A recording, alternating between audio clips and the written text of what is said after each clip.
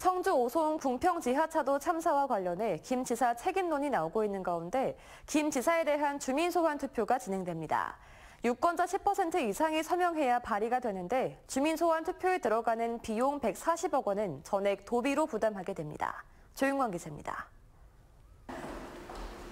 충북 선거관리위원회 김용한 지사에 대한 주민 소환 청구를 위한 신청서가 접수됐습니다.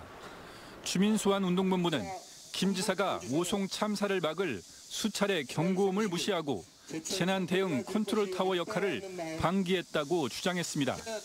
참사 전날 7시간 이상 충북을 벗어나 서울에서 만찬을 갖고 책임을 회피하기 위해 회의 기록을 조작한 의혹도 짙다고 주장했습니다. 내가 가도 바뀔 게 없다 막말하는 김영환이 기꺼이 친일파가 되겠다는 발언으로 우리의 민족적 자존심을 짓밟고 충북을 전국의 웃음거리로 만드는 김영환이 우리를 대표하는 충북 도지사로서 자격이 있는지 묻고 있습니다. 주민 소환 투표를 위해서는 먼저 120일 이내 도내 유권자의 10%인 13만 6천 명 이상의 서명을 받아야 합니다. 이후 주민 소환 투표가 공식 발의되고 전체 유권자의 3분의 1 이상이 투표에 참여해 과반이 찬성하면 김 지사는 직을 잃게 됩니다.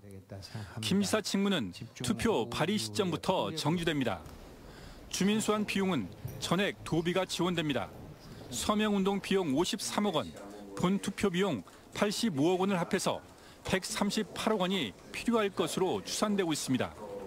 일부에서는 준비위원회 대표가 21대에 이어 내년 총선에 출마할 가능성이 있고 시군 대표자도 민주당 당원이 포함돼 주민 소환에 대한 순수성에 의문을 품는 시각도 있습니다. 순수한 충북 도민의 한 사람으로 출발하는 거고 그래서 충북도나 어, 중앙당하고 상의할 생각을 해본 적이 없고요.